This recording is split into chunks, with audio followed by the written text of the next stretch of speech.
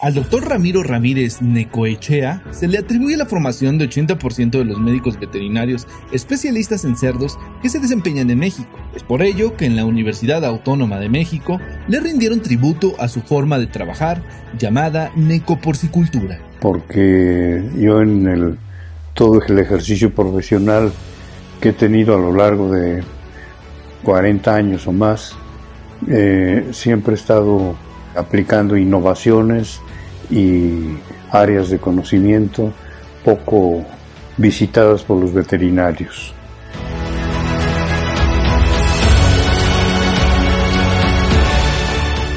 El primero es la dedicación, la pasión a la que te dedicas, el profesionalismo y ante esas actitudes, esos valores, más los conocimientos técnicos.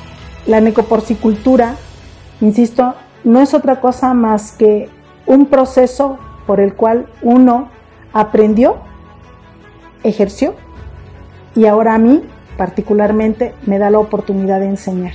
En porcicultura.com hablamos con expertos en la materia. Recordemos que Ramiro realmente es de los primeros veterinarios en el área de porcicultura, formados para el área de porcicultura, entonces es toda una escuela.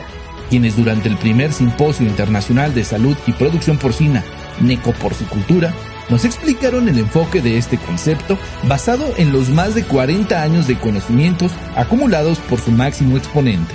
Bueno, lo que le hace diferente es que yo abordo todas las problemáticas que hay dentro de una granja. No solamente reviso los cochinos o platico del, último journal que, que leí y es que luego de más de 200 artículos de divulgación científica en materia de producción porcina, el doctor Ramírez Necoechea ha trabajado una escuela que atiende a este sector con una mirada holística. Yo creo que la trascendencia de esto es que las nuevas generaciones vean que escribir, leer, practicar y enseñar van unidas. Hay que meterse por todos lados. Entonces, desde cómo le hablan los empleados a los cochinos, cómo se meten, cómo se visten.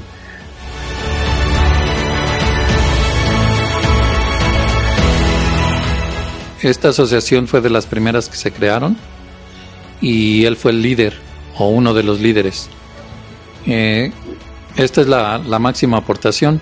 Dentro de sus mayores aportes se encuentra también la creación de la Asociación Mexicana de Veterinarios Especialistas en Cerdos en la década de los 60 todo lo que ha vivido durante todas las etapas que ha pasado la asociación y todas sus vivencias son importantísimas para tomarlas en cuenta por nosotros. Organismo que nació con la intención de continuar con la preparación de los médicos veterinarios, más allá de las aulas. en las otras escuelas tienen estructuras muy eh, estrictas para dar clases y aquí de cualquier cosa que veamos en una granja que esté o que parezca que está funcionando mal, hay que demostrarlo.